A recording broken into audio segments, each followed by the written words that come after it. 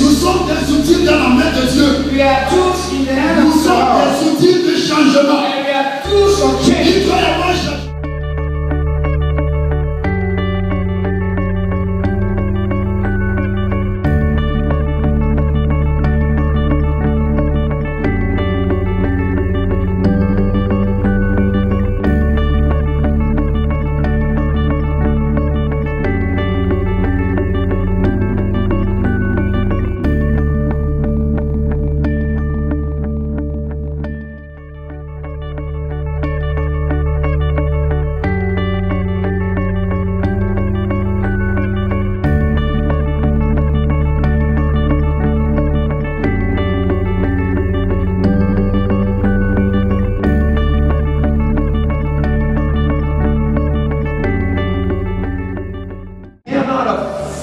Effectively serve without humility. Humility is what allows you to serve effectively.